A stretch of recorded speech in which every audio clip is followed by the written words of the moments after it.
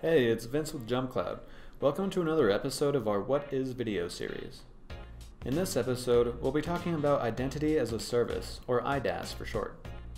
So, what is Identity as a Service? The concept of identity as a service came to be in the mid 2000s, just after web applications like Salesforce and Google Apps, now called G Suite, came to market. At the time, Microsoft effectively owned the IT space, and virtually every IT resource was on prem and Windows based. The trouble was that web applications were not Windows based, nor could they bind to the Active Directory domain in most cases. Of course, that's when first generation IDaaS platforms came to market.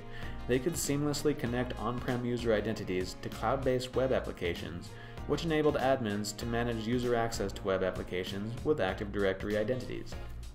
However, as more IT resources shift to the cloud and diversify, more IT admins have come to discover that traditional IDaaS solutions paired with a legacy IDP are no longer enough to manage the complexity of modern networks.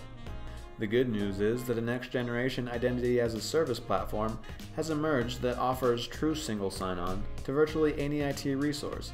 It's called JumpCloud Directory as a Service, and it is effectively a reimagination of Active Directory for the modern era of IT.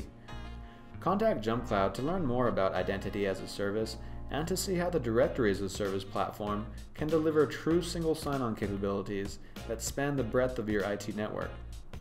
Sign up for a free account and check it out for yourself. We offer 10 users free forever to help get you started.